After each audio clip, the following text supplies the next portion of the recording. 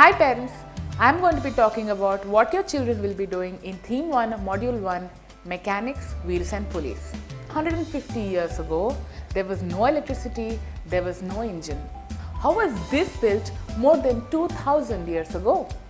They were made using simple and compound machines.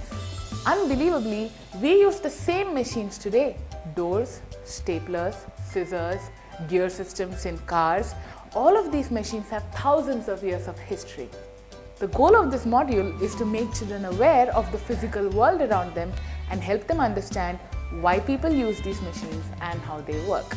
How will they do this? Well, children will build a wheel winch to understand how the wheel and axle systems provide mechanical advantage. They will then build a cart and cart launcher system to understand how wheel and axle systems provide speed.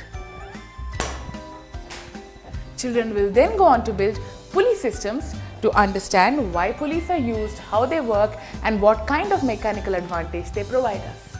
Children will then build a belt-driven fan to understand how power transmission occurs between pulleys of different sizes. Children experiment with each machine to understand how they work and what kind of a mechanical advantage they give us.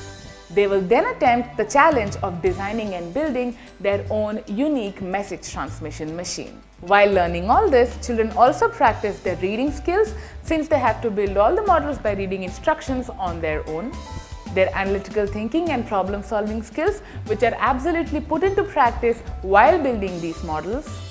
Their writing skills as they enter their learnings in their own learning journals, their creative thinking skills which will be put in practice while they're designing and creating their own unique machine, communication and collaboration skills since they build and solve problems in teams, and digital skills since they use tablets to access their curriculum, take pictures and note down what they learned.